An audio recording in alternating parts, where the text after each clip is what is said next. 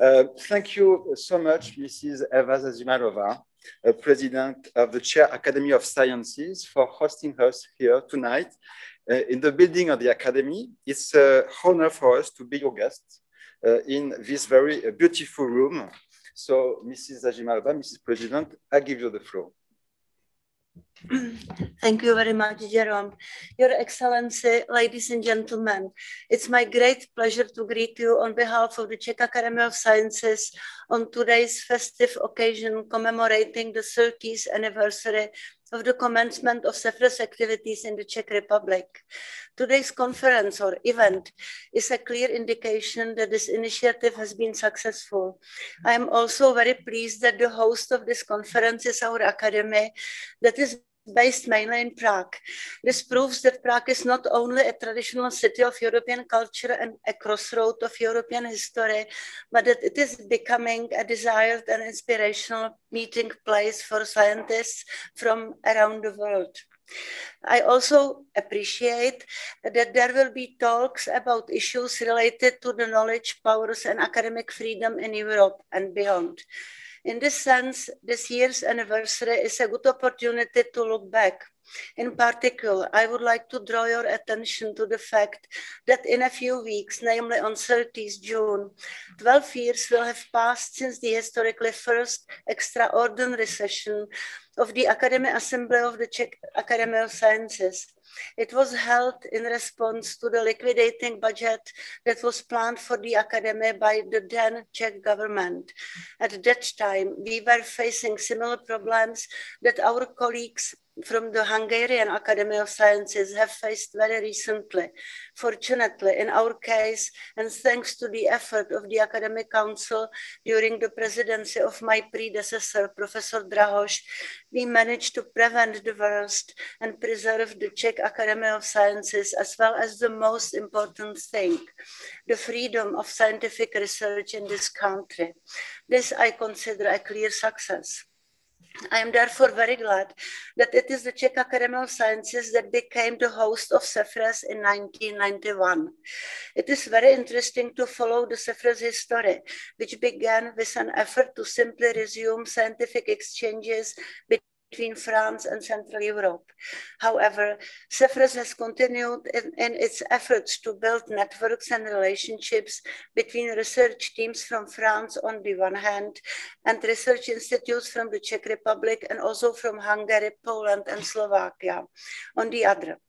Gradually, CEFRES has begun to offer even more a reflection on current scientific topics and challenges that opened up to the social sciences and humanities through lectures, seminars, publications of scholarships for doctoral students and postdocs. A completely new milestone, which further supported mutual relations, was the creation of so-called CEFRES platform in November 2014 as a new basis for Czech friend for sorry from French Czech cooperation. We are very pleased that the Czech Academy of Sciences, together with Charles University, has become one of the important partners of this platform. Finally, let me make a small comparison here. In the 1990s, there was a fundamental need to establish or renew contacts in the field of French Czech cooperation that had been disrupted for decades by communistic regime. To a large extent, and no doubt thanks to the work done by CEFRES, this has succeeded. It might seem that the task of the 1990s has been fulfilled. However, it turns out that history is not over, Also, some have, unfortunately, mistakenly thought so. Today's situation in Europe and the globalized world, in which France and the Czech Republic are an integral part, raises new questions, including questions for the social sciences and humanities. I therefore wish all of us and the CEFRES in particular. Good luck in finding meaningful answers and perhaps also some advices. Thank you very much. Dear President of Academy of Sciences, His Excellencies, dear rectors, vice rectors, dear colleagues, ladies and gentlemen, I am very honored to be here on the anniversary of the 30th years uh, CEFRES uh, take place in, in Prague together with Charles University and Academy of Sciences. And it is, I think, with uh, only short period, which is not the CEFRES flourishing, but uh, mostly CERTI is, is very successful based on the traditional very good cooperation between the French uh, colleagues and the Czech colleagues uh, in the scientific area. And I, uh, I should mention that our foundation uh, of university in 3047 in January is tightly connected to the Pope of Clement VI, uh, the professor of Sorbonne and the teacher of the Charles IV, the founder of our university. And now it's coming through to the 4EU plus universities together with Sorbonne and other universities in, in, in European Union together to, to sharing the activities. And the CEFRES is coming to Prague very shortly after the Velvet Revolution and uh, opening and uh, helping us to our students and our, our, our professors and teachers to renew uh, uh the social sciences, humanities sciences, uh, which was seriously damaged during the, uh, the years before.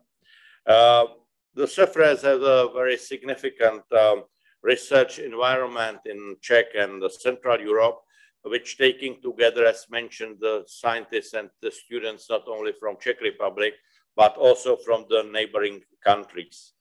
Uh, the, the CEFRES, it's also put uh, very important um, influence to developing some uh, study subjects and research areas on our university, as example, the French studies uh, on uh, or European studies uh, on our faculty of the uh, social sciences and uh, starting also the um, joint degree programs and also the cotutelle, which are influenced and involved for our colleagues from CEFRES.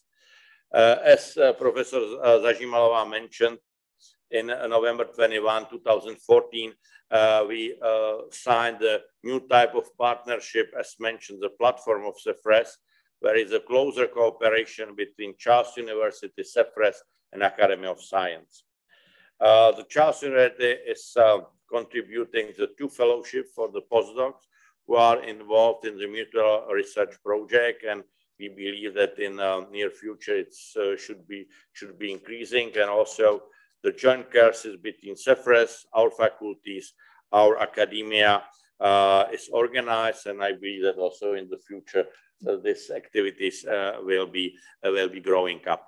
I would like to to thank the colleagues from CEFRES, the colleagues from French Embassy, uh, French Institute. Uh, Eva Zažimalová, Vice Rector Lenka Rovna, who is involved in these topics, and I believe that the next uh, 30 years in CEFRES uh, will be growing up to network between the Czech and French scientists and also uh, put to, uh, to hard cooperation between the Czech and France. I wish you all the best. Thank you very much.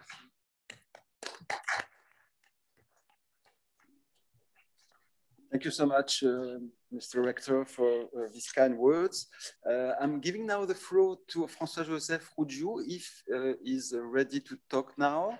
Okay, dear colleagues, I am particularly glad to join you for the 30th anniversary of the French Center for Research in Humanities and Social Sciences, the CEFRES, and to take the floor besides our Czech partners, Charles University in Prague and the Academy of Science of the Czech Republic. CEFRES was, was uh, created in uh, 1991 and the CNRS entered into partnership with the French Ministry for Foreign Affairs in uh, 2007. Anniversaries like this one are very important milestones in the existence of a research laboratory. And as you surely know, the CNRS had wished to celebrate its own 80th anniversary in uh, 2019 with uh, brightness. Uh, it, was, it, was not just a, a communication operation. It was also a way to mark the achievement of the CNRS uh, since uh, 1939, a way to shed light on its role in the progress of science, and, and the opportunity to give a sense of community and proudness to all persons who were or who are related to the CNRS. So I, I commend, therefore, and I thank uh, Jérôme Heurtaux, the director of the CEFRES, and all our colleagues there for having scheduled the today, today's and tomorrow's event uh, for celebrating its own anniversary. Internationalization of research is an urgent concern for the French Ministry of, for Higher Education and Research, for the CNRS, and for the Institute uh, for Humanities and Social Sciences. And I know that is also a concern for our Czech partners. It is only through solid integration into international scientific networks that is possible to renew research dynamics, acquire and develop new theoretical and methodological references, and widely, widely disseminate the results of scientific production. Um, for doing that, our main tool uh, in the CNRS is a network of research units abroad, cooperated by the CNRS uh, and uh, with the French Ministry for Europe and uh, Foreign Affairs. We are running 25 of uh, such research laboratories called UMIFRE around the world. And this situation is unique in Europe, even if Germany is now creating with a great success its Merian centers. I cannot emphasize too much how important and fruitful is for us the bond we share with the French Ministry for Foreign Affairs. This partnership gives to the UMIFRE large-scale mission and access to rich resources. But one of the challenges for this network is to open up to local partnerships so that the units abroad are better integrated in the local research networks. And UMIFRE is a kind of revolving door open toward France and open towards its geographic area. It is thus one of the mission of UMIFRE to create this link between local research communities and the French and European research communities. And CEFRES is exemplary in this matter.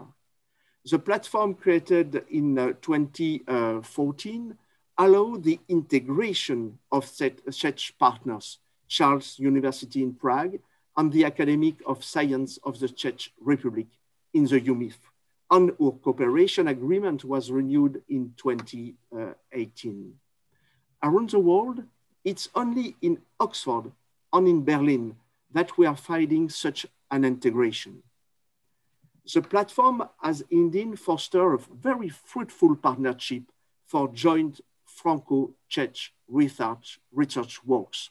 That includes the training of young researchers and also the Tandem Incubator Program, which is a, a very original action to launch new binational research progress, pro projects and which is support on the CNRS side by the mobility of a researcher in Prague. And I, I, believe, I profoundly believe that this kind of action, this kind of design that can contribute to reinforce collaborative research program between French and Czech researchers and to give rise to new, truly innovative research programs. And the first tandem team uh, with uh, Luděk Brož, researcher from the Czech Academy of Science, and Virginie Vaté, CNRS research, uh, researcher, has already proven the efficiency of the action with the successful application to the highly competitive ERC Consolidator grant. So CEFRES, it is at the same time a research laboratory in social sciences and humanities, and a cradle of new practices and new action, which could be and which will be replicated elsewhere in the world. And CEFRES is also a testimony of the academic value and moral value that we are sharing. So the CNRS is particularly grateful to all the members of the CEFRES, past and present, to the French embassy in Prague and to his French and Czech partners for our excellent, excellent relation and for the high quality of the scientific activities we are uh, producing all together. Thank you very much. I would like to add a few sentences, and I am aware of how privileged uh, I am to be the director of an institution like CEFRES um, that was just being born when uh, personally I discovered uh, Central Europe and Prague for the first time of my life in 1991. Um, was founded uh, only two years after the collapse of the communist regimes at the initiative of the French Ministry of Europe and Foreign Affairs. That's why uh, the speech by the Secretary of State for European Affairs is so important for us. And I welcome the presence among us uh, of the French ambassador to the Czech Republic, Mr. Alexis uh, uh Dutertre, and also, of course, the director of uh, the French Institute, uh, Luc Lévy, and Véronique Debord-Lazaro, who is the scientific attaché at the French Embassy. Uh, the French Center for Research in Humanities and Social Sciences um, had as its primary mission the revival of scientific relations between France and Central Europe in the process of change. And CEFRES initially followed and observed the great transformation of so-called, at that time, post-communist countries, while becoming also a showcase uh, for French human and social sciences. Since 27, uh, 2007, uh, it has enjoyed a privileged relationship with the CNRS. So I thank again uh, Mr. Uh, Director uh, from CNRS for being here with us. And uh, has supported the work of several hundred young and not so young researchers uh, for 30 years and developed a solid cooperation with its partners. Since 2015, uh, the CEFRES platform has united CEFRES with the Czech Academy of Sciences and University in Prague. So it's very important for us to see, to see you, uh, president and the rector at my side. Uh, I would like to take this opportunity to pay tribute uh, to two crucial persons with whom we have planned this conference, uh, Mrs. Lenka Rovna, vice rector of Charles University and president of CEFRES uh, Scientific uh, Committee, and Mrs. Tatiana Petrasova, who has been responsible at the Academy for the cooperation with CEFRES for the past eight years, and whose mission has just come to an end. So thank you very much, Lenka, for everything you did for this cooperation. For 30 years, uh, directors have succeeded one another. Researchers have spent one of several years here. Uh, PhD students have brought their curiosity and dynamism.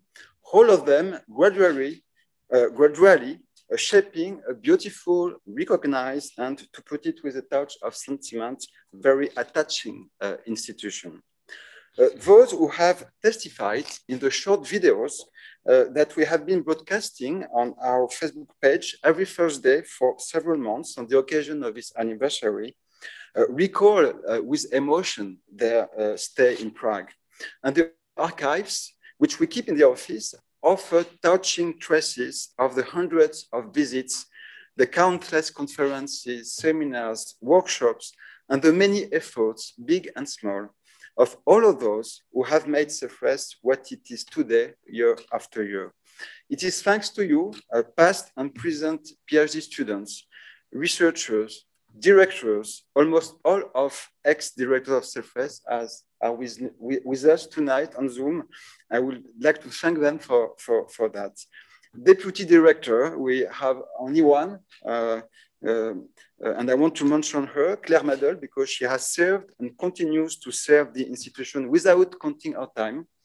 Uh, assistants, colleagues, and partners, it is, it is thanks to you that one of the far distant successors of Marie-Elisabeth Ducreux, the first director of CEFRES, and who so well incarnates CEFRES by the passion she has shown for it until today, uh, it is thanks to you that one of her far distant successors finds himself so well surrounded to celebrate this anniversary, which is above all, above all your anniversary.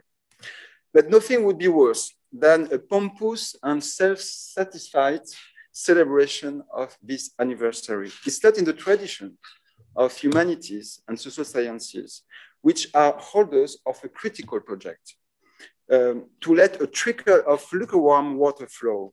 History never stops. It is its motion that concerns us, Uh, and this is why we have decided to use CEFRES, uh, to use this anniversary as an analyzer in order to focus our attention during this conference on the transformations that have affected and, and are affecting humanities and social, social, social sciences today.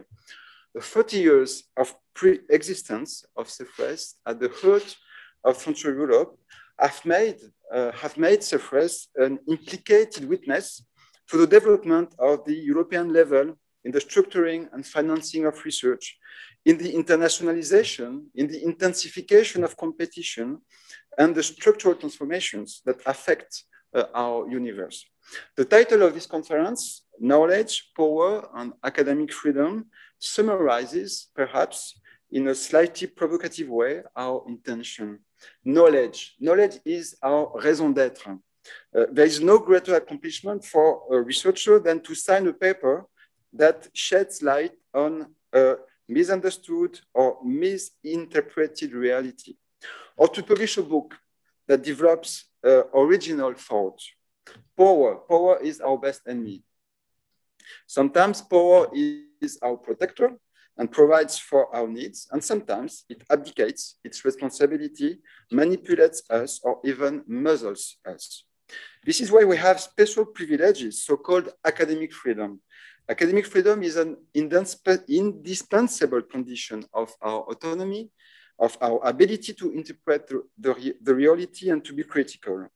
And knowledge, power, and academic freedom form a virtuous triad in some cases.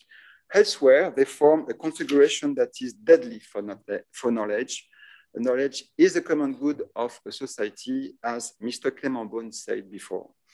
This is why uh, we are so pleased to welcome to our ceremony a privileged witness of our turbulent times, Professor Michael Ignatieff, rector and president of the Central European University since 2016.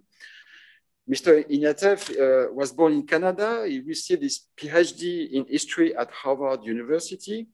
He has served, among other prestigious uh, academic positions, as Edward Murrow Chair of Press, Politics and Public Policy at Harvard University's Kennedy School of Government. Uh, he has been visiting uh, scholar at EHESS also uh, a bit uh, um, before. He has published several books on different topics uh, and is also an international uh, commentator on contemporary issues uh, such as democracy, human rights, governance, etc. And he has also a rich political background, having been a member of parliament in Canada in the past and leader of the Liberal Party. After 2011, uh, Mr. Ignatieff distanced himself somewhat from uh, active politics, daily politics, I would say, concentrating instead on research and teaching.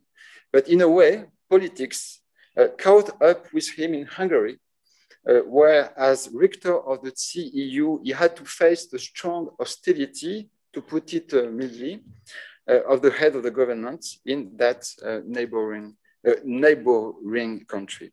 For all these reasons, I am pleased that Prof. Ignatieff has agreed to give this uh, inaugural lecture on a subject that he knows from every angle. thank you so much for your time, Professor Ignatieff.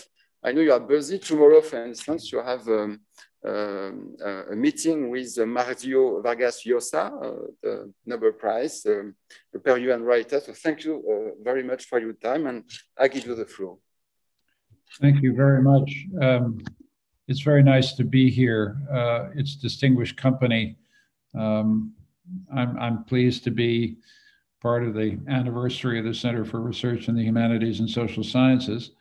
Um, it's a very distinguished collaboration between two absolute centers of intellectual life, Paris and Prague, and it's been going on since 1991, and that's also the 30th anniversary of my university. So I like 30th anniversaries, and I'm happy to be part of this one. I'm also delighted to be with you at the Czech Academy of Sciences, which is a great institution, and also to be sharing a platform with uh, the rector of Charles University uh, one of the things I know about Charles is that it was founded in 1348. And uh, that reminds us, I think, of something that's fundamental to this story, which is how old universities are.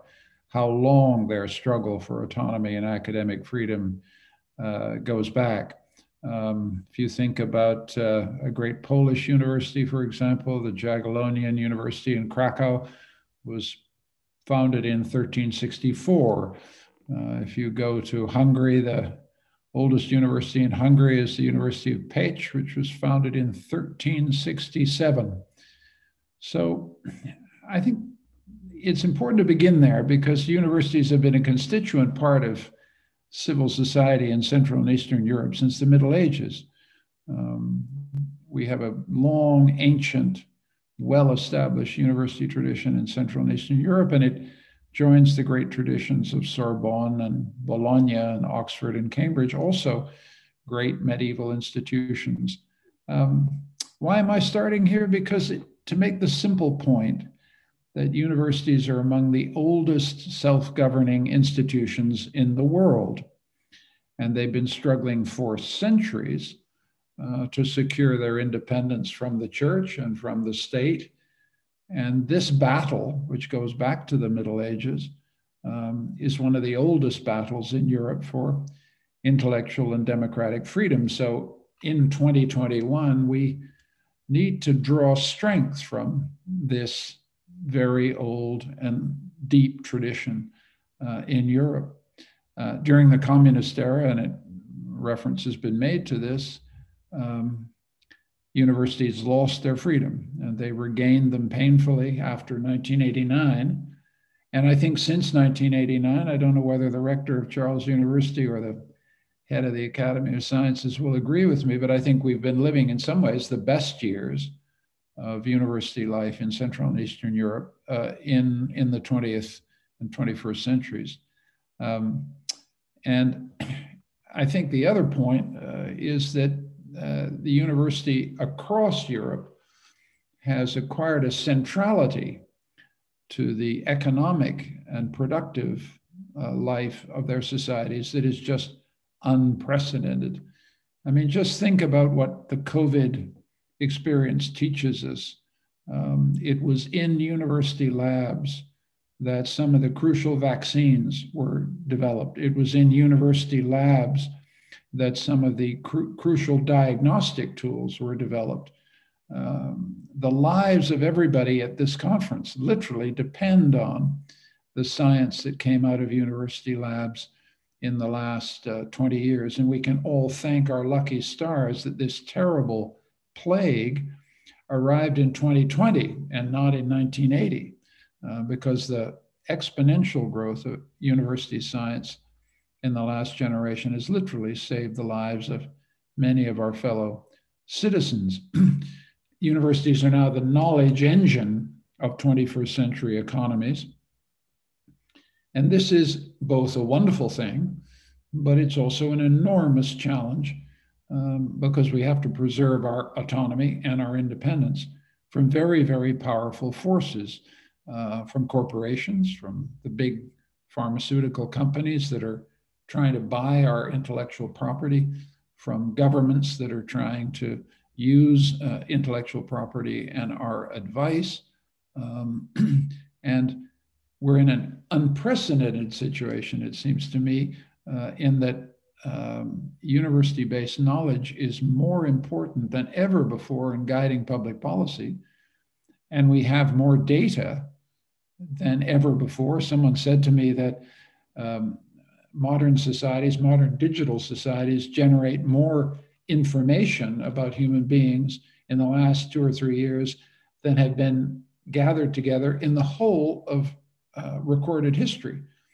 And universities are the custodians, the archivists, the curators of this enormous, exponentially growing uh, digital knowledge. This gives us power, um, but it also gives us responsibility. And it gives us immense frustration when we see patiently developed social science knowledge, patiently developed epidemiological models ignored uh, in the middle of the COVID crisis. COVID both demonstrates the centrality of university knowledge for the future of our societies, but it also illustrates painfully uh, what it's like when we're ignored and not listened to. Um, but I think my theme, just to, to, to get to it, is that academic freedom is absolutely central to the very future of democracy itself. This is less obvious a thought than you might think. I mean, everybody in this room will assume that to be true. But I think one of the things that we've discovered in the populist era is that a lot of people don't have that view of democracy at all. And a lot of our democratic leaders don't have that view of democracy at all. Uh, for most people um, that we serve, uh, democracy simply means majority rule, rule by the people. Uh, and the idea that self governing institutions are a critical piece of democracy is often not well understood in our societies. A liberal democracy means majority rule balanced by minority rights, constitutional protections, independence of the judiciary, freedom of the press, and crucially, self governing institutions, what Montesquieu famously called les corps intermédiaires. Um, universities are the oldest of these institutions, and in many ways now the most important. We must be free to choose our programs. We must be free to hire and fire. We must be free to select our own students, and we must free to pursue our own research. This freedom, needless to say, has to be balanced by accountability to the societies and governments that pay for us. Uh, this accountability is both financial, but it's also social. Um, and this is one of, the, I think, the issues we need to grapple with um, uh, very clearly. Universities have enormous power. I've referred already to the intellectual property that gives us power, but we also have power because we're the engines of the modern meritocracy. We credential the leaders of tomorrow. Our credentials, our degrees, are immensely valuable to those who seek them, but they are also a key reinforcer of inequality. And that inequality generates resentment, and that resentment divides democratic societies. And I think we're all familiar, uneasily familiar, that credentialed inequality is in many ways harder to shake and harder to change than inequalities of wealth or class or even of race, because credentialed inequality is so easily legitimized. Those with credentials from universities like ours believe that they've earned uh, their credentials and they've consequently earned the status, the income, the elite position that those credentials provide them. And this sense of entitlement that our credentials uh, hand out every day of the year, this entitlement creates resentment um, among those who don't have uh, these credentials. And so we are at the very center of a bitter and divisive debate about credentialed inequality in, in our societies. We both study this problem but in some deep way, we are the problem. And that's a drama that we are uh, working through.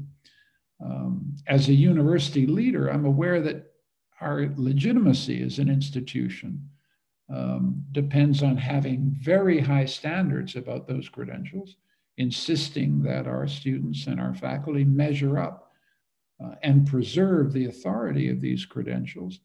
Um, but I also know that in order to preserve the legitimacy of our credentialing function, um, we need to make sure that everyone in our society can secure access to these credentials and that our doors as an institution are never closed and that we reach out through recruitment strategies that are targeted everyone in our society that is excluded marginalized, or discriminated against. And we need to say very clearly as institutions, we're here for you. And we don't always say that. And uh, it's rendered us as a university vulnerable to counterattack. And we know how powerful this populist attack on experts, on elites, um, on the entitlement of the credentialed elite We know how powerful these attacks can be. And we know how dangerous this is to the authority and status of universities, and how, frankly, how threatening it can be to our budgets if we're dependent, as many of our state institutions in Europe are, on the political favor of those who are elected and those who uh, are have to be responsive to these populist tides in our in among our fellow citizens. So what, what can we do about this? We have to defend our freedom and our autonomy and our authority by demonstrating that we serve, we enable, we empower, and we're accountable. Um, now, so those are some of the challenges that I think are generic to universities everywhere in Western and North and North America. Um, but I want to now turn a little bit to some of the challenges that are specific to this region that has become my home. Um, let's recall the history.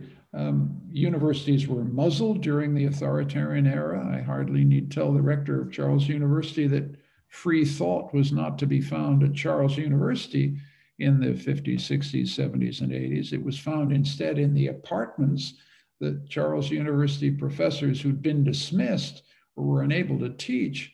Uh, it was in those, those private apartments that free thought remained in Prague.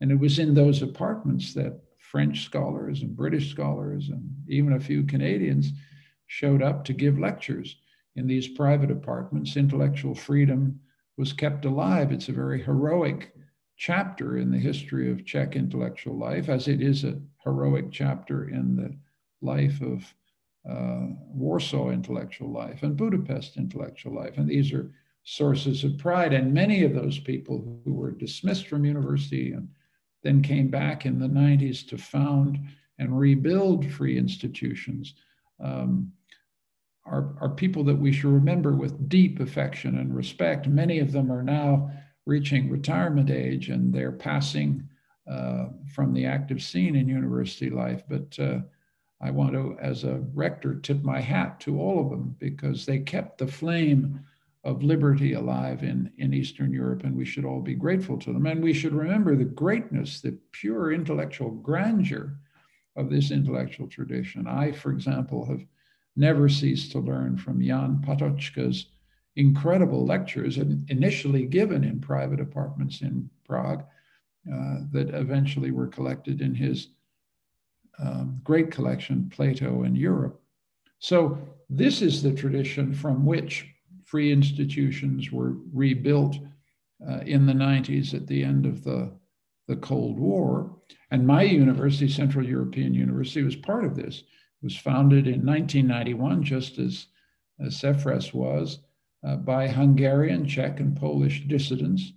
It was funded by another uh, Hungarian emigre, George Soros. And its purpose was to liberate the humanities and social sciences from the ideological grip of communism and train a new generation in the habits and skills of democratic freedom. And crucial to the founding of CEU and to the rebuilding of Charles University and the rebuilding of the great universities in Poland was the idea that democratic, a democratic transition will be impossible without democratic citizens. And where do you train democratic citizens? You train them in universities.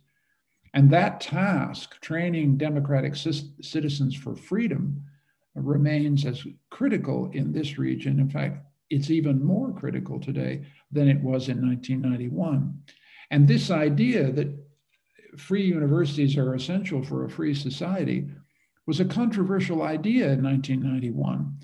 Uh, and we forget at our peril that uh, while CEU actually began in Prague, and great social scientists like Ernest Gellner returned to teach in Prague, uh, the idea of a free university here, a new university dedicated to the democratic transition, was pretty controversial. Václav Klaus didn't like it one little bit, and CEU was effectively expelled from uh, Prague in 1993, and we then reestablished ourselves in Budapest because Mr. Mečiar, then in power in Slovakia, didn't want us to come to, Slo- to uh, Bratislava. We need to remember in other words, that there was always, even at the beginning of the democratic transition, deep resistance to the idea of democratic uh, universities uh, who seek to train democratic citizens for democratic societies. And this opposition has always been there. And CEU then established ourselves in Budapest, and we attracted students from the region and now from the entire world. And we've made ourselves into a research intensive graduate school in the social sciences and humanities in downtown Budapest. And we understood another key thing I think about academic freedom is that it's not the business of a university as a institution to be a political player. A university is not an NGO, and a university is not a political party. Um, each individual private member of a university should be free and must be free to comment critically on the politics of, of the society which they serve and they live in. But it's not the role of universities to take collective positions on public matters. And CEU always took that position. We stayed out of the political battle in uh, Budapest. We kept our side of the, the bargain of academic freedom uh, to the best of our ability. but when uh, Mr. Orban was running a uh, election campaign in 2017, authoritarian populists need enemies. They need enemies at their stature.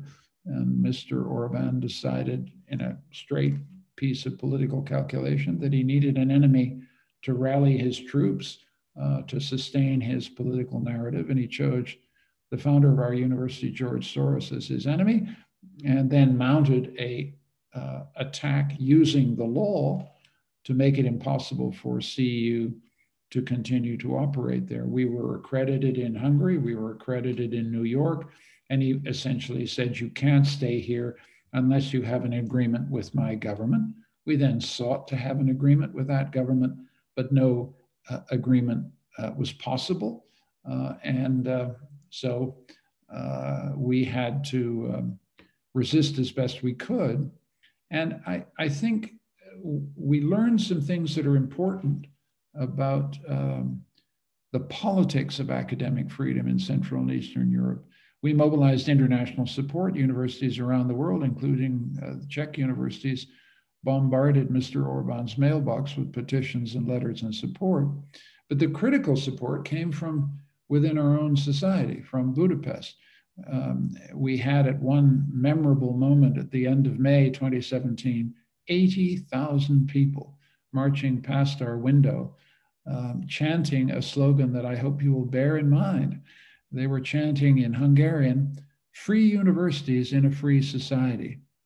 This was the largest demonstration in Hungary since the end of the Cold War, and they understood essentially the key thing I'm trying to get across, which is they understood the fundamental connection between their freedom as democratic citizens and the freedom of universities.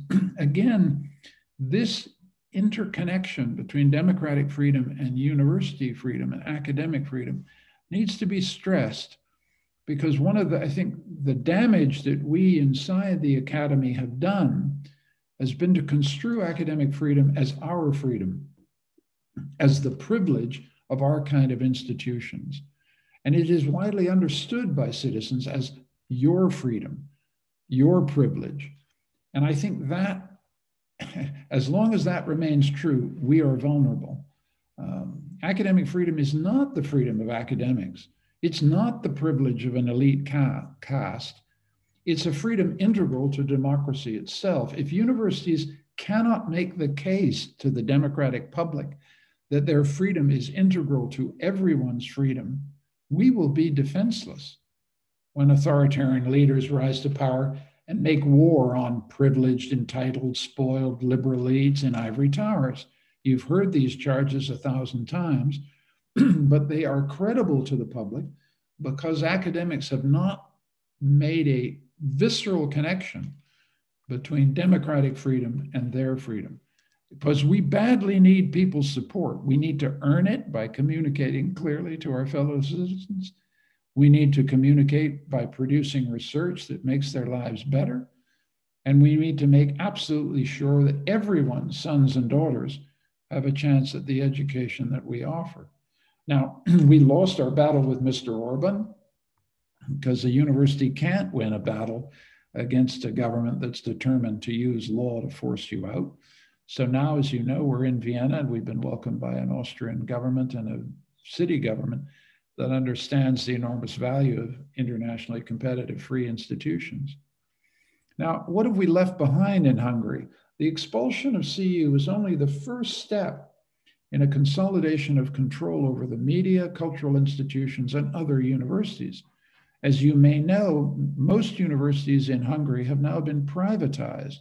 Their assets have been handed over to university boards stacked with government supporters. And both their private assets and their intellectual agenda are now controlled by these boards. This is an absolutely new development in European higher education. And what begins in Hungary has a nasty way of happening in the Czech Republic and in Poland. I hope not. Uh, you're going to have to stand up and make sure it doesn't happen. Uh, the European Commission has reacted and says that they won't channel EU funds to these privatized institutions. But the Hungarian government has said, just fine, we'll do without the money. So understand what's happened here. It's, this is part of the change, but there's another change I need to mention to you. One of them is that having expelled us, a US accredited institution, Viktor Orban has invited to Budapest Fudan University from Shanghai. And over the next five years, Chinese workers will build a campus on the banks of the Danube at a cost of 1.5 billion euros, paid for, I hasten to add, by the Hungarian taxpayer, who will be required to repay the loan provided by the Chinese government. So understand what's happening here. Fudan is a very substantial university, but its charter explicitly acknowledges the supreme authority of the Communist Party of China.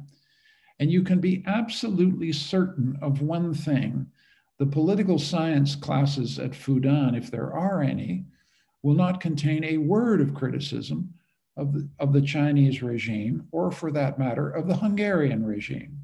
So we have entering into Europe an institution that does not correspond to the foundational values of European academic freedom. And this is an issue for every European government. Uh, it's already an issue, not it hasn't been started with Fudan. There are Confucius centers in many uh, European and North American institutions, and these institutions have long raised questions about whether they allow freedom to have a dispassionate, critical look at Chinese culture and society. Um, and I think with the entry of Fudan into Europe, European governments will have to decide whether, in accepting other universities from China to establish their campuses here, whether these institutions respect the fundamental norms that have been uh, basic to European academic freedom for generations. Please don't misunderstand me. I am, do not want to be part of any emergent, highly ideological Cold War against China. I believe strongly that there should be as much uh, academic interchange with Chinese universities, some of which are uh, fantastic institutions. There should be as much exchange as possible. But we need to be very, very clear. These are not institutions that subscribe to uh, international standards of academic freedom. And so cooperation has to lay out very clear guidelines about what we can do together and what we can't. And I think Western governments have been very slow to understand that, and we need to understand that now. But this is not the only threat to academic freedom in Europe. I want to draw your attention to another thing that's become, uh, which is uh, concerns me greatly as a working rector. Uh, intelligence services in China, Russia, Turkey, Belarus, Egypt, and the Gulf states have made a point for some time of keeping the social media accounts of our international students under surveillance. The globalization of international education has been one of the great things that's happened in the last uh, generation in, in Europe. We're getting students from uh, societies around the world. But in the, in the case of those students who come from authoritarian societies like China or Russia or Turkey, we can be certain that their intelligence officers are watching the social media profile of their students. And this has a chilling effect on the capacity of these students to react, to react freely and study freely. Uh, many students also feel that there are students in their midst who are informing on them to the intelligence services back home. Now, if you think, um, in other words, these authoritarian regimes, in some cases, are reaching right into the classrooms, right into the libraries where we work. And I think we're not as aware of this as we need to be. If you think I'm being um, slightly overheated, um, I want to tell you a little story. CEU has a student currently in his fourth month of detention in Cairo, an Egyptian student. He went home in fe February to see his family, was asked to show up at the police, was immediately locked up. What do they have against him? They have what they have against him are his Facebook posts critical of the Egyptian regime that he made while studying at our university. This is a flagrant attack on his academic freedom, on his freedom to think and reflect on his own society. And we need to be aware that this is a serious issue. Uh, we have international students, and we need to protect them to the degree that we can from these kinds of uh, pressures. Um, I raise this case because we have some idea in our mind that the real threats to academic freedom are somewhere else. What I'm trying to convey is the sense in which authoritarian regimes, through their intelligence services, are now reaching right into our student bodies. I saw this at Harvard in 2016. I'm seeing it now at CEU. I warn you, this is a very serious and emergent issue. Let me uh, begin to draw towards a conclusion since I don't want to overstay my uh, welcome. Um, let me return to the beginning and just summarize what I've said. Um, academic freedom and institutional autonomy are not the privilege of an academic elite. And if we think of it in those terms, if we allow uh, our enemies, our adversaries in the wider society to define academic freedom in this way, we've lost the battle. What we need to say, on the contrary, is that if academic freedom is undermined, everyone's freedom is diminished, and democracy is sure to suffer. The threats to academic freedom today are serious, from authoritarian regimes that are consolidating power in Central Europe, and I cited the example of uh, Hungary, but we could also talk about what's happening in Poland. Um, but we need to focus on the ways in which these regimes in Central Europe are dependent in turn on the support of major authoritarian and resurgent powers like China and Russia. So the tide is not necessarily flowing in the direction of liberty. The threat's not far away, it's already inside our classrooms, and we need to be aware of what's at stake. But I think we also need to be aware that this battle for academic freedom and institutional autonomy has been going on for a very long time. Um, it didn't begin in 1991 and it won't end in 2021. Uh, we need to have a historical perspective. Uh, we need to take heart, I think, from the, from the sheer stubborn longevity of universities. As I said it right at the beginning, universities are among the oldest freestanding institutions in the world. These traditions of academic self government by the community of scholars are among the most precious achievements of European liberty. And as our medieval ancestors would surely tell us, you have to fight for them. Princes come and go, cardinals and popes are here and then gone. But universities, astonishingly, have remained and endured, um, and their princely and priestly opponents are no longer with us or no longer uh, as strong as they were. And they've been forced to understand the value, the importance of these self governing institutions that also happen to be the engine drivers of the modern 21st century economy. I feel optimistic as a university rector uh, about the future of academic freedom because I think, and I share this with all of you, I care passionately about these places. My whole life has been spent inside them. My life wouldn't make sense without them. We need to fight for them. Thanks very much for your attention.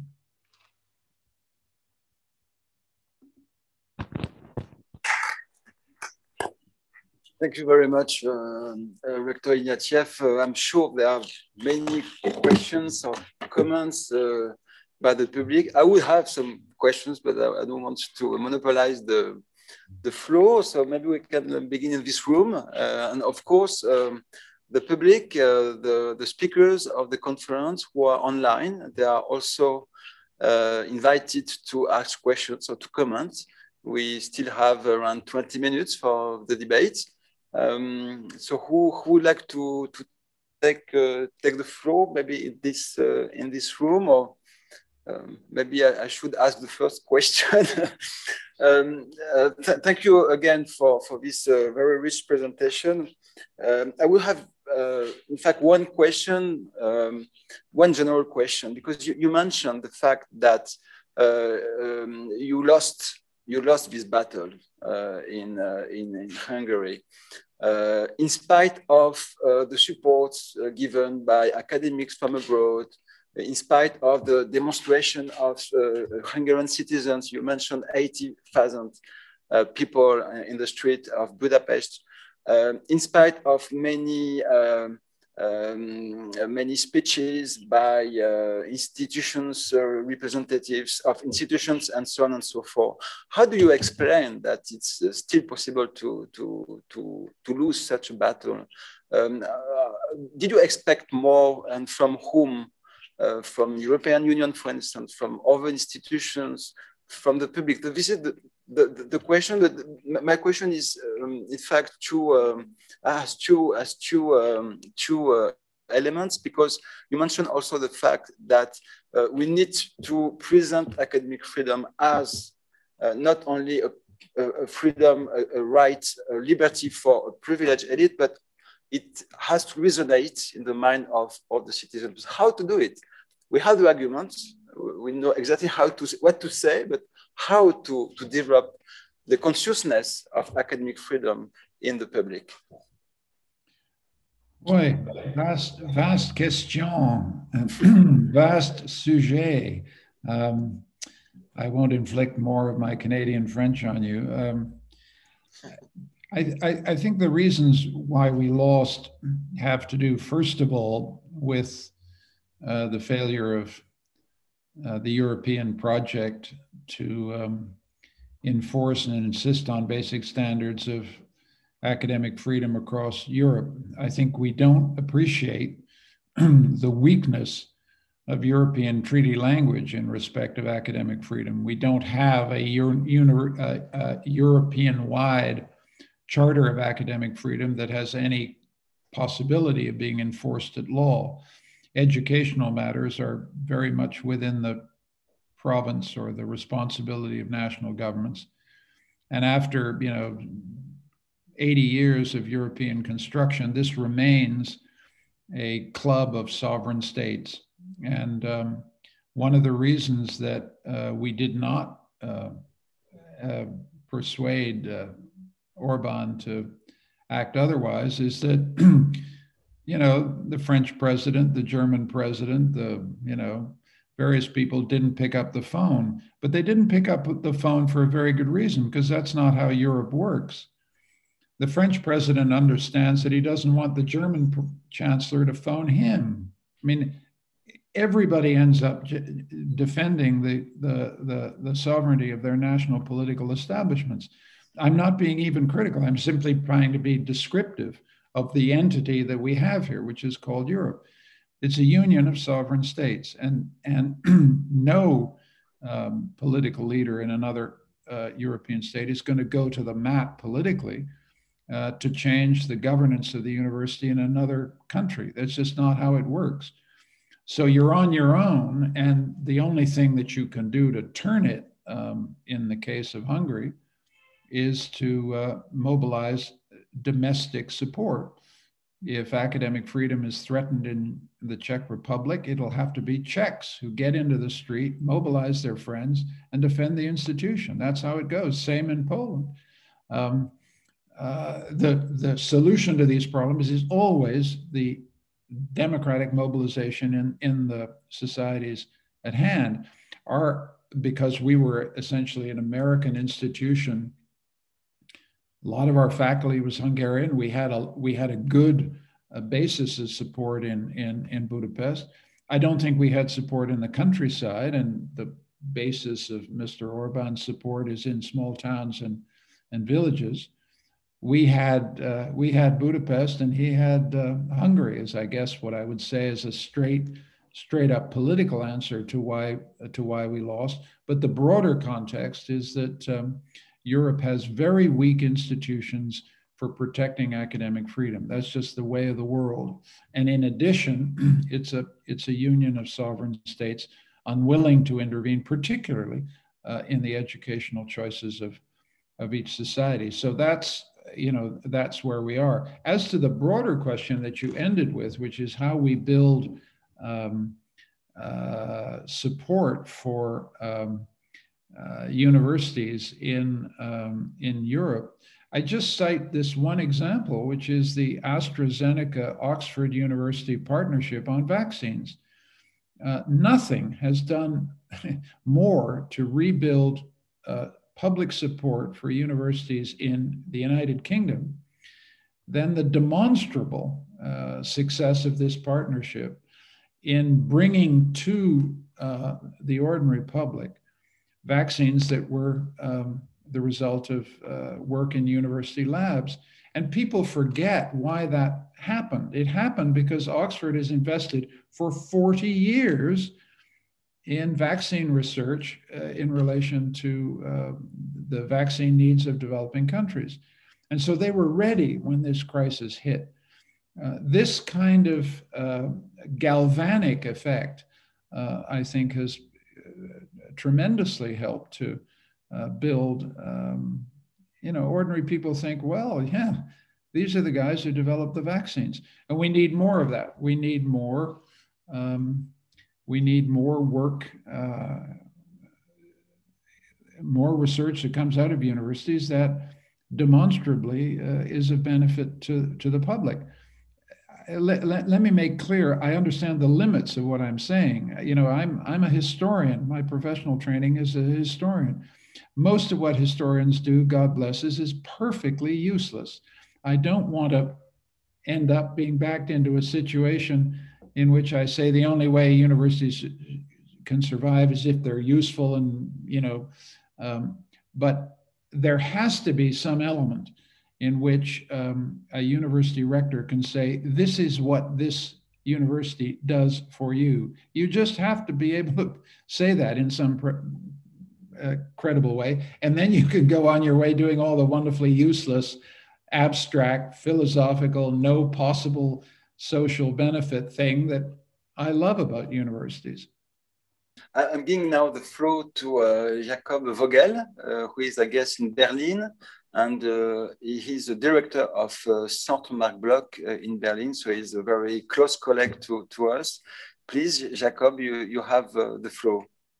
Uh, I want to come back, uh, um, Mr. Ignatieff, to what you have just talked about. And um, as um, somebody who, with a lot of French and German colleagues, but also uh, together with uh, Jérôme, uh, as we are very um, interested in um, well, supporting and, and helping the different institutions all over Europe and beyond to um, to develop uh, academic freedom um, in a much broader sense. I think uh, what you said is very important. Uh, and a lot of things uh, I subscribe uh, completely. Um, as an historian myself, uh, there is just a point that I wanted to make to set uh, what you said in a broader context as well. Uh, of course, uh, what you said about the European Union and the lack of um, building up a strong sense of uh, academic freedom as a part, uh, a central part of our collective um, identity and having this also supported by uh, some institutional frameworks. Um, and I completely agree with you on this critique. But I think that what you have left out and which is not so unimportant for an international institution as your uh, university uh, was also the broader um, global political contacts uh, and the lack of support um, i would say that you got got from from the american administration uh, at that time. Um, and i think that under uh, the actual president right now uh, things would certainly have uh, happened in a different way. I don't know whether or not you would have succeeded at the end but uh, at least um, um, the, the general trend uh, of uh, developing of populist and illiberal democracies was also very much uh, driven um, by uh, what was happening in the United States. And um, although uh, we in, in Europe have our own problems and, and, and still have to struggle with that, in a proper sense, we uh, we are in a, a, kind of connected world where these kind of things uh, uh, matter a lot, and I think this is uh, also a, point that we have to take into account. And I hope that uh, uh, actually, um, if we try to develop academic freedom in Europe further, and if we can get the the support by the new Biden administration for these kind of activities would be very important. And I think uh, we will have to stand up for this uh, all together uh, um, uh wherever we are in the world. And you could see the developments in Brazil and, and elsewhere uh, as well. But uh, once more, this just adds a small part to the broader picture that you give me. And thank you very much for, for your presentation. Your your remarks are very penetrating and it gives me the opportunity I've never had in my life to pay homage to Marc Bloch. What a great historian. What a insp real inspiration to me as a young student. I, I, I say this with feeling in, a, in an audience of people from France. I mean, people like Marc Bloch are an inspiration to every historian trained in my generation. So that's just by the by. Um, your your point about America is very well taken, uh, and it and it illustrates, I think, a point that's very important for our discussion about power and knowledge and academic freedom, which is that it always has a very important geostrategic dimension. Um, we ran into trouble with Orban in 2017 um, and we ran into trouble with Orban within days of the election of Donald Trump. Uh, I can I could give you chapter and verse. The minute the Orban regime understood that Donald Trump was going to be in the White House from November 2016 onwards, um, they prepared their attack on us. Uh, prior to November 2016, we had good relations. From one day to the next, it changed. Um, I can I can I can tell lots of stories about it. Uh, that just highlights the importance of what you're saying. Um, I I don't you know I can't resist taking a few shots at Europe, but there's clearly the geostrategic context here is very important. If you don't have a strong uh, Western liberal democratic alliance standing up for this geostrategically, uh, little universities like ours can't prevail. You, you really need um, the big powers to make a, a, commitment in defense of academic freedom and, and stick with it. And everybody knows that the American defense of academic freedom has its ambiguities. Um, this is not an unconditional defense of the foreign policy of the United States by any means, but the absence of the United States in these countries sure makes it more difficult. And for us, it was this is very relevant because we're a US accredited institution. We're a very rare breed. We're accredited in Europe. We're an Austrian university now. We were a Hungarian university. but we are also an American university. And this model uh, has been wonderful for us because it allows us to represent what's good about American academic life and what's great about European academic life and try and bring them together. But if you don't have support from the United States, you're in big you're in big trouble. Absolutely right, uh, Mr. Vogel. Thank you for your comment. Thank you very much. I'm, giving now the, the floor to uh, Mrs. Lenka Rovna, Vice Rector of Charles University. Thank you very much for your intervention. It was very interesting for us. We supported you as well as Charles University. Also, as a member of Europeum, we gave you a special status within the framework of Europeum. My question is, how do you feel and how do you do now in Vienna? Uh, how happy and flourishing the Central European University is.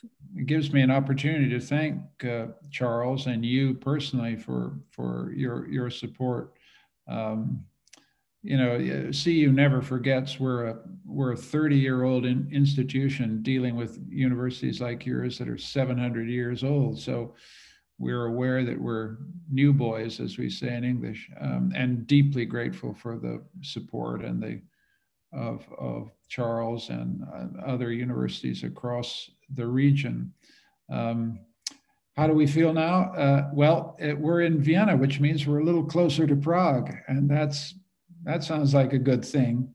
Um, uh, Vienna is a important university town. Uh, there are something like I think 280,000 students studying in Vienna, so it's a very good place for our students.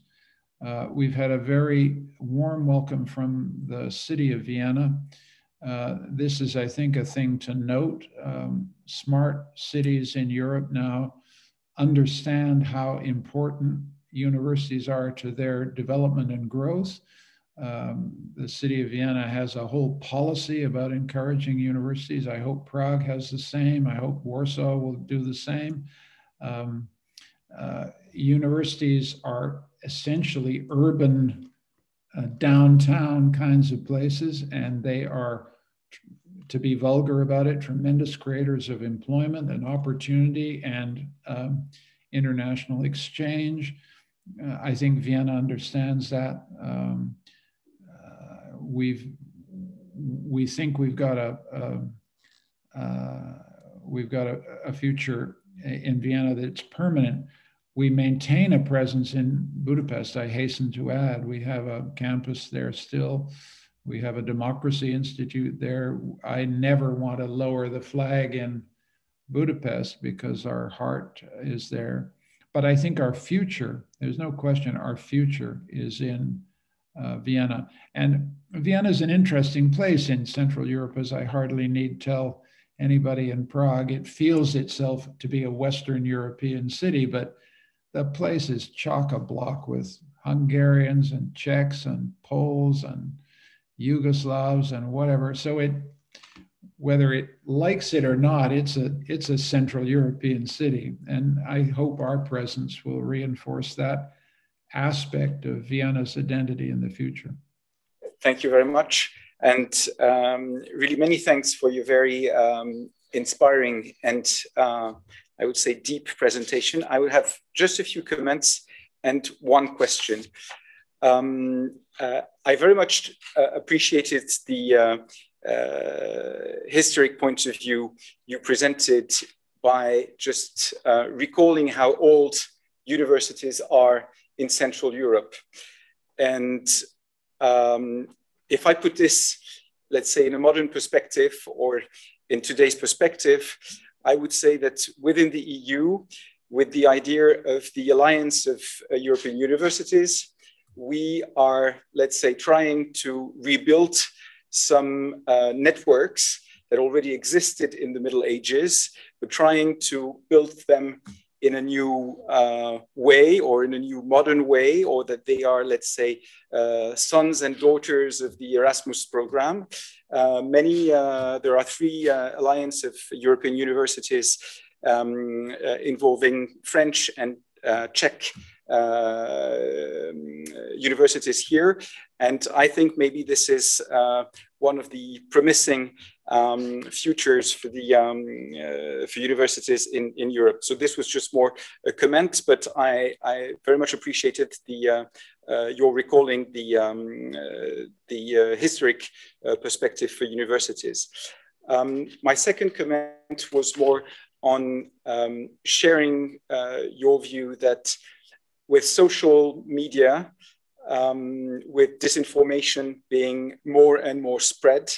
Uh, we need uh, universities uh, to just, um, I wouldn't say stop emotions, but uh, lead students to get back to facts, uh, explanations, so that they are made, uh, let's say, citizens that are aware of their rights and their ability to stand up for facts and not um, emotions.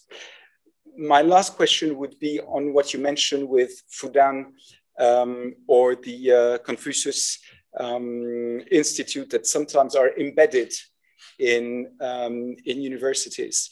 This is a very worrying trend.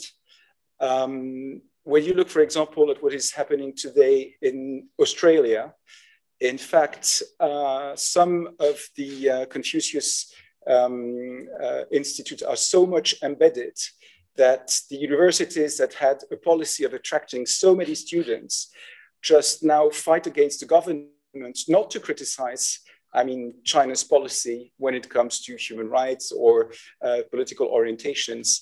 And this is just an example uh, going live on what is really happening as a grip slowly being put on universities and then uh, preventing our, let's say, European or Western tradition to carry on with those academic freedoms. My question would be, um, uh, what is your assessment of this attempt or of the spread of this grip um, in uh, Central Europe? And I would just finish with one um, point. Within the EU, we adopted a strategy or we defined a strategy on uh, relationship with China in three words, saying that um, uh, China is for us uh, a partner, uh, is a competitor, and is a systemic rival. And uh, when we look at uh, the questions of this slow um, tightening or this will to um, uh, prevent the ability to, to criticize, I think we are there in the um, way by which the systemic rival wants to prevent us to preserve or to keep our model of academic freedom. So sorry for being long, but I would really appreciate if you could enlighten us uh, with your knowledge of Central Europe of what um, or how you see this trend for uh, for Central Europe. Thank you so much. Picking up your three words, I mean, I this is a difficult issue for us. Your Australian example shows that uh, universities can actually get um, really substantially constrained. They can, in the Australian case, be so dependent on the inflows of Chinese students and the the institutional embedding of the Confucian Institutes really does begin to constrain these institutions. And that's a, I think, a warning sign for Europe, and it's a warning sign that we need to heed and, and avoid.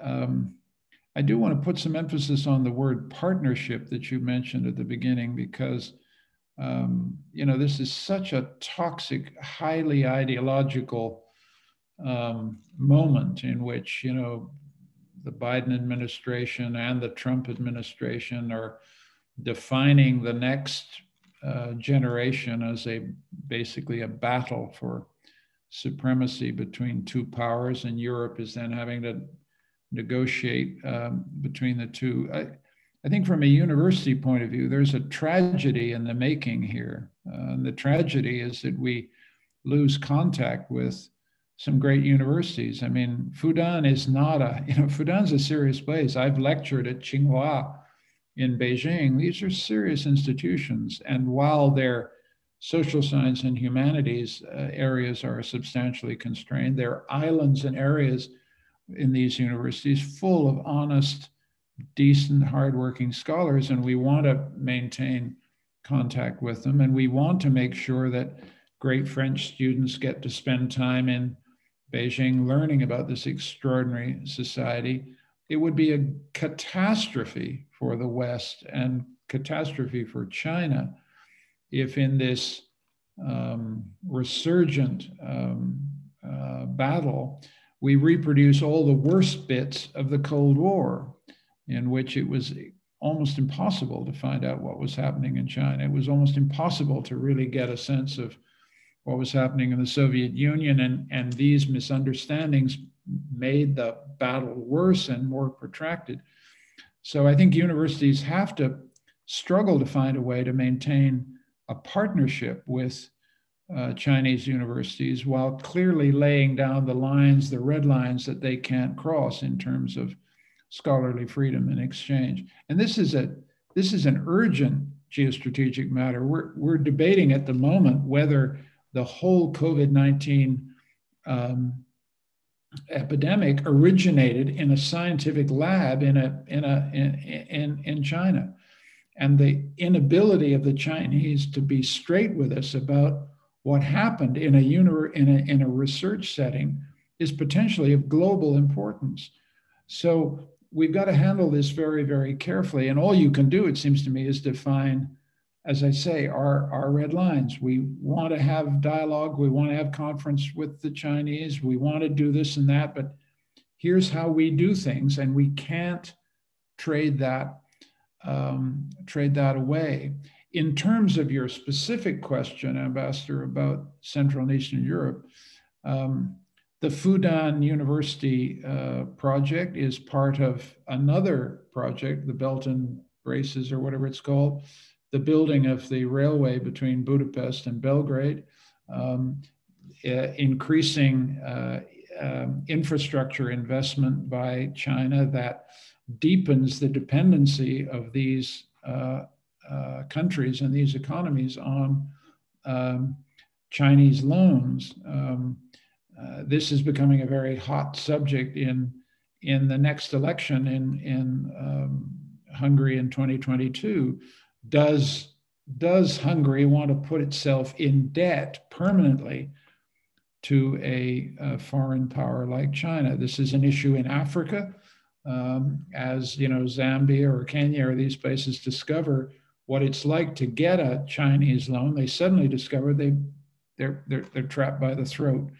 This is uh, aid and loans that essentially tighten the control of this regime on their dependence. And, and this pattern, which began in Africa, is beginning to be developed in Greece, in, uh, in the Balkans, in uh, Serbia, and in uh, Hungary. And I think um, clearly um, the big strategic question for Europe is it has always been the case that when in uh, confident and sometimes complacent Western capitals, they've looked at a place like Hungary and basically said, so where else are they going to go, right? I mean, the EU is their only possible destination.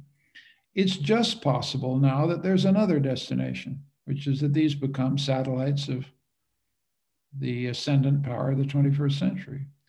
I don't think this needs to happen, but this is the this is the challenge for Europe to understand that European integration was driven by a sense that there's only one direction for uh, Central and Eastern European states. They can only go towards integration with uh, Europe. And to the astonishment of Western European elites, it's actually a vote winner to get up in a Hungarian election or even a Polish election and say, you know, Brussels is Moscow. You know, uh, uh, Brussels is this coercive uh, power extinguishing our national freedom. And if this stuff gets pushed much further, then to the question, where else are you going to go? Some of these authoritarian leaders may say, well, actually, I'm, I'm cozier in the embrace of a, of a of a of a global power that lends me a lot of stuff, um, creates institutions that don't raise difficult questions for me, and so on. I I I realize, Mr. Ambassador, that I'm at the edge of credibility here. This might even seem far fetched, but it's not off the table in my view. And and this development of uh, Fudan, the development of the railway, the development of these um, connections, the obvious development of uh, uh, intelligence capabilities in Budapest and other places, um, poses very interesting strategic questions for Europe that need to be handled calmly and serenely. And to go back to where I started, need to be handled in such a way that we don't lose the engagement, the partnership with China on science, technology, and learning that is, I think, a critical way to avoid the geostrategic conflict becoming um, a, a, a, battle of uh, uh, that becomes zero sum and therefore geostrategically dangerous. I'm sorry to go on so long with the question or the answer, but the question was of great importance. And thank you very much for asking it. Thank you so much, Mr. Uh, Professor Ignatieff, for, for your time. Um, please uh, say Margos um, uh, Vargas Llosa that he has a strong French admirer in Prague, if you have the occasion. Thank you again for your time.